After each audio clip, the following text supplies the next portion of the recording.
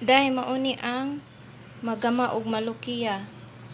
Ahos, kamatis, coriander, and malukiya nga imuhang gigiling, sabaw sa manok, ug ang manok.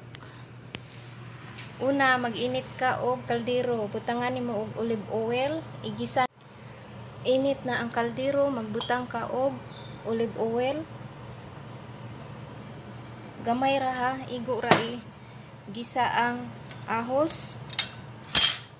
Butang nimo ang ahos. Ug init na. Kana. Ug init na. Ang ang olive oil. Ibutang nimo ang ahos.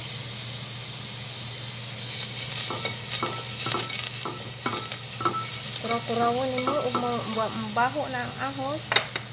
Isunod nimo ang coriander karon nabutang na nimo ang kamatis ah, ahos ug coriander. Ingon na ana na siya ibutang nimo ang sabaw sa manok.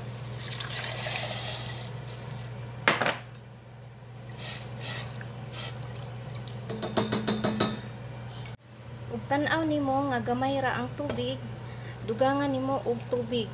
Kanang igo si mo laut di nimo si daghanon og tubig ha kanang igo ra si malaut di si sabaw jamo. Kanang sticky si ingon ani. Human ayaw takubi ha? 10 to 15 minutes ra ang pagluto sa malukiya. Kay ug imong palabian og luto og kuraw-kuraw maitom ang malukiya. Nig maluto na, iserve nimo ang malukiya taparan og limon.